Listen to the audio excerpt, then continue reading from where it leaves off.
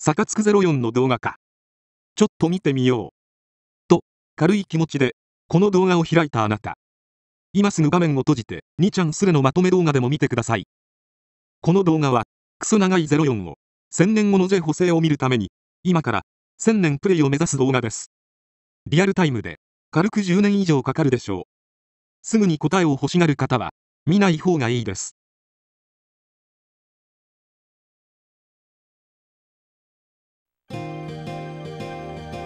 いいんですね。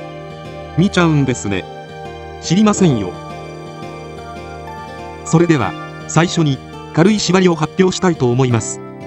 普通にやってもあれなんで。実在現役選手のみで戦います。まあ序盤だけですけどね。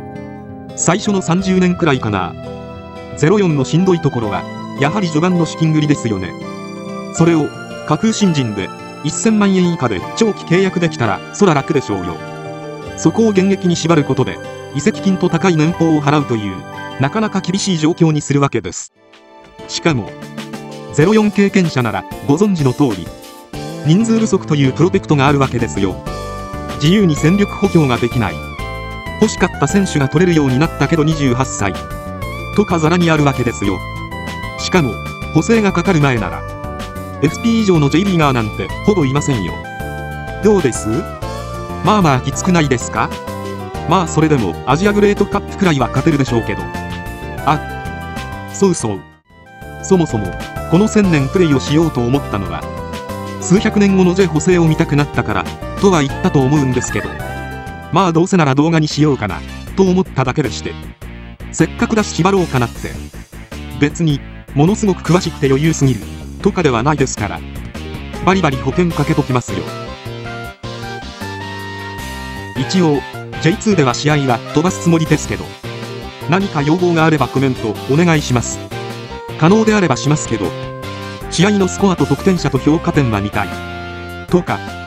なければ J1 でも大事な試合以外は飛ばします。始まって早々。変なおっさんの回転を見せられて嫌な気分になったんですけど。まあ気を取り直して。さっきの縛りの続きなんですがシーズンチケットの裏技は使おうかなと思ってます。というかもう使っちゃったんで。補強資金が欲しかったんでね。それと年俸抑制法も使おうかなと。新人を使っちゃうとゆるゆるになっちゃうだけでして。あんまりきつい縛りはしたくないわけで。とまあこんな感じでゆるくやっていこうかと。ちなみに不定期投稿になると思います。ついでにぶっちゃけると1000年は無理かな。と予備のプレステ本体もあるけど壊れちゃうでしょうね。多分プレステ本体か私が。余談ですが私は451と433が好きなんですよね。でも04の J リーガーにはいいサイドバックが非常に少ないんですよ。ウィングもろくな選手がいないし2002のようなマイナーズもいないしね。そして何といっても特殊エディットがない。これは大きなマイナスポイントですよ。それと選手プロテクトも若干イラッとするが何より燃え尽き症候群ですよね。これのせいで負けている理由がわからない。燃え尽きだとしても誰が原因かがわからない。これははっきり言っていらなかったですよね。ただ J 補正は嬉しいですよね。これはナイスです。好きだけど弱っちい選手も使えますからね。まあ他の選手もバッチリ補正は効いてますけどね。まとめると2002に J 補正をつけろってことですね。あとこのスポンサーによる留学先の確保ね。まあこれは2002のヤウンデとかもきつかったんだけど。今回のダカールとドーハね。こっちはキャンプなんだけど。まあきついよね。日の浦石油が出ない出ない。オフタスもよその監督をずっとやってる。みたいな。全く解任されないの。ダカールは最悪 N 部を姉妹都市にしちゃうっていう荒技もあるんだけどね。それにしたって何回ぐらいかかるんだろう。誰か知ってる人いたら教えて。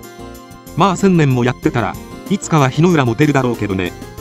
リヨンやリバプールも大会で当たるだろうし。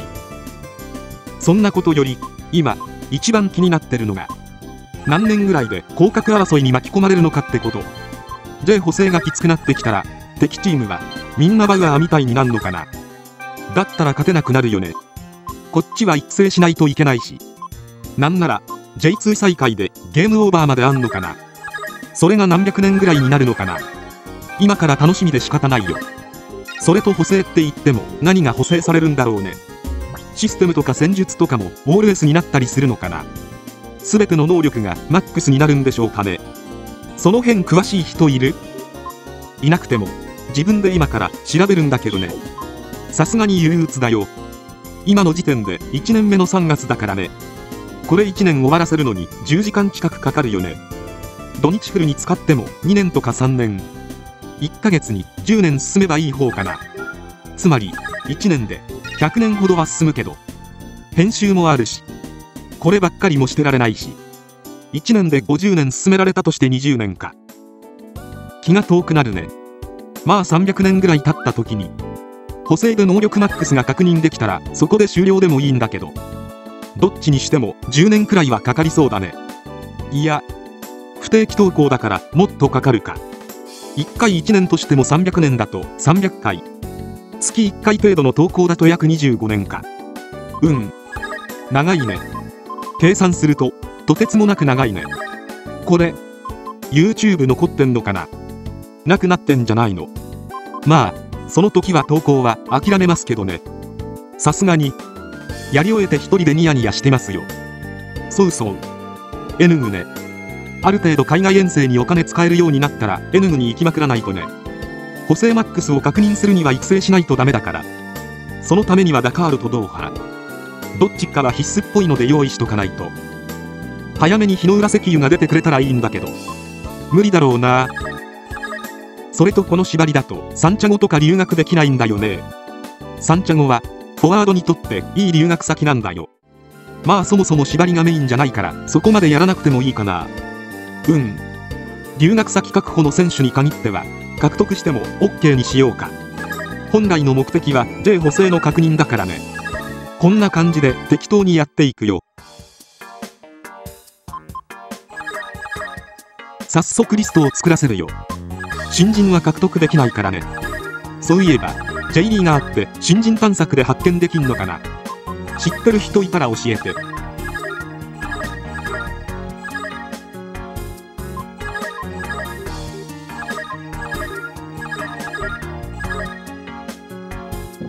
これでよし。架空選手が禁止だから移籍リストも今のとこ必要ないな。たまに J リーガーも載ってるけどね。一応チェックはしていかないと。ここで施設を建てとこうか。あまりお金は使えないけどね。補強資金に充てたいからなんだけど。いい選手見つけてきてくれるかな。あとはサウナくらいは建てときたいな。芝はまだ張れないよ。高いからね。カウンセリング室とかも欲しいんだけどね。今はそれどころじゃないからね。そもそも1年目から J リーガーとか取ったことないんだけど。お金どれぐらいかかるんだろうね。何人くらい取れるんだろう。普通なら1年目は捨ててオフの新人獲得で安く補強してたからな。どうなるのか想像つかないよ。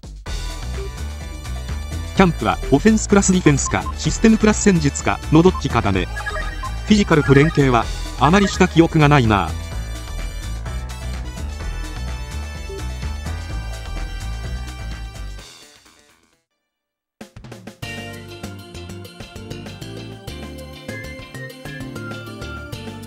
このお金でどれだけ補強ができるのか。シーズン中はあまりお金がたまらなかったよね。確か。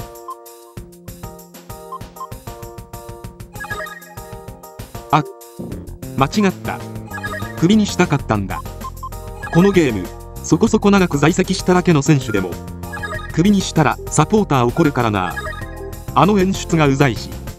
何よりサポーターの数が減っちゃうからね。枠もそんなにないのに。無駄な選手を置いとけないよ。早め早めにクビにしないと。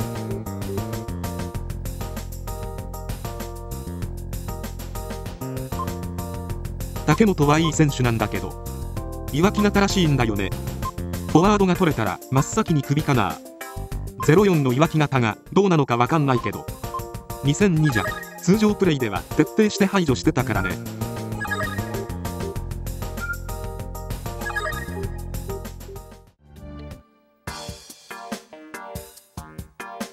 た来た。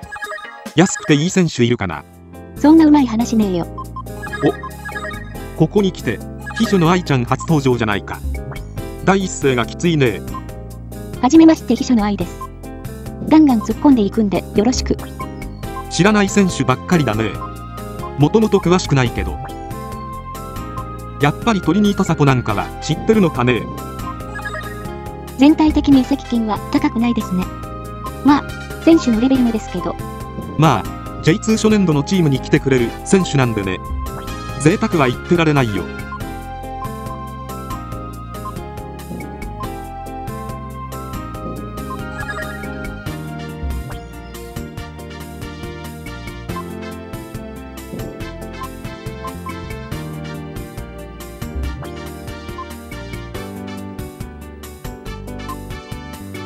みんないまいちですね。どうしますか？取りますか？次は1ヶ月後ですけど、とりあえず少し取っとこうか。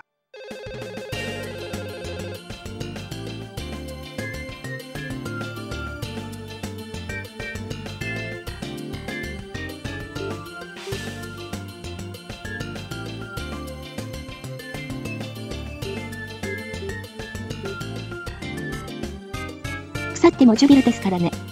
やってくれるでしょう。結構高えな。とりあえず3年かな。3年後には、もっといいフォワードにいてほしいですね。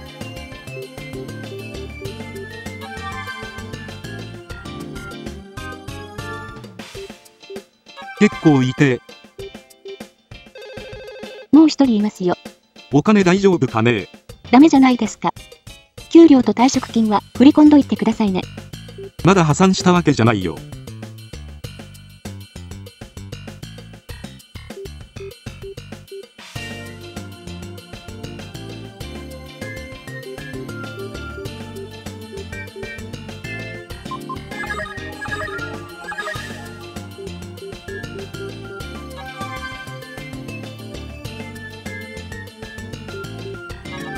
どこに振り込んだらいいのかな？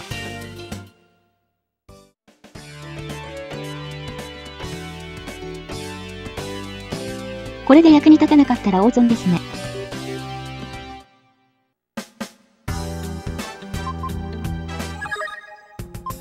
さあさあ、じゃんじゃん切ってくよ。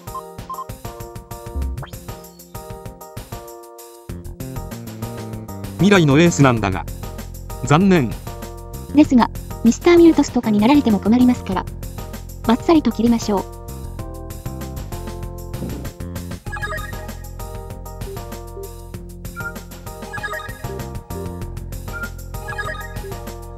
岩木型のお前が言うな。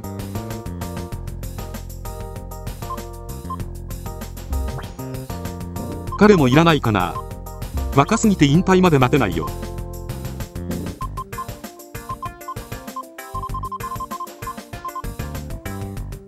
18歳ですもんね。契約切れでもサポーターは怒りますから。せめて契約切れなら怒らないで欲しかったです。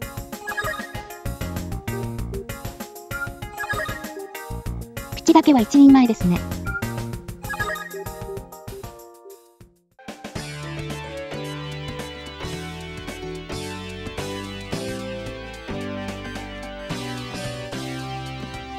こんなのあったね。まあ、選手一人分にもならないけどね。とまあ、今回はこの辺で。